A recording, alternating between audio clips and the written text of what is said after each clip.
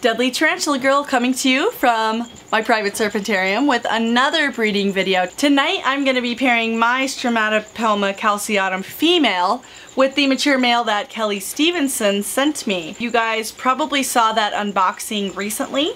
She sent me two Porteroy, two female Porteroy and the male calceatum. Here we have her little male and you can see who's webbed up quite a lot.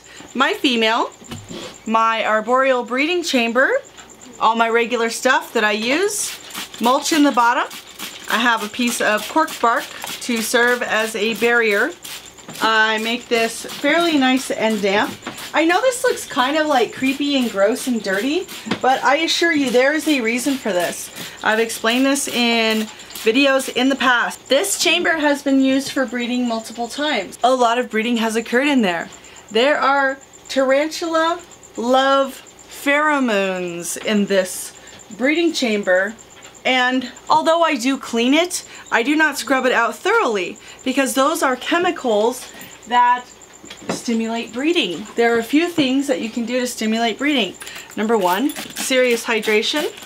Number two, put them in an environment that facilitates breeding.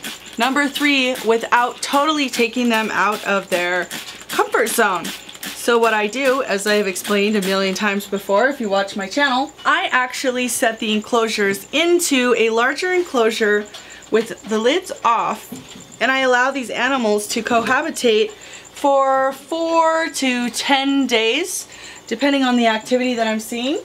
Obviously, they need to be well fed far in advance.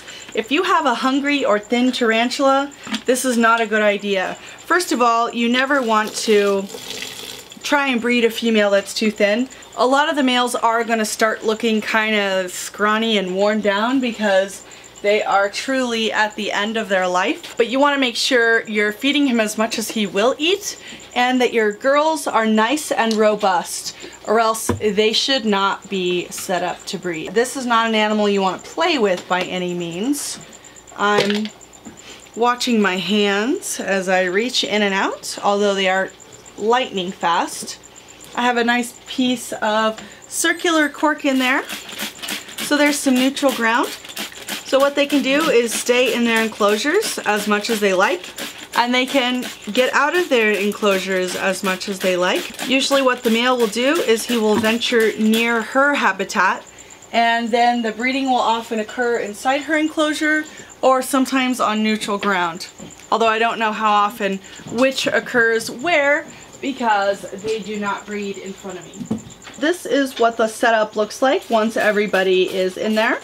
They have some neutral ground. They each have their own little homes that they can hang out in. There's plenty of room for them each to escape if they feel threatened and typically get away with their life. On a side note, I am in desperate need of a mature male Chromatopelma cyaneopubescens or green bottle blue.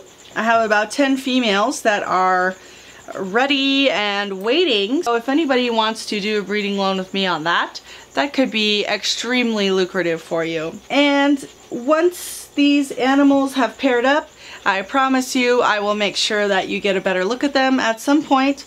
But this time period is not when you want to stress out your animal. You want them to transition nicely and calmly and that that will best facilitate breeding. Just wanted to give a big thanks to Kelly. I just can't wait for these tarantulas to breed. I'm very excited about this and keep your eyes peeled for updates on these two. I want you to comment below what is your favorite African arboreal and I love you guys as always thanks for watching I'll see you again soon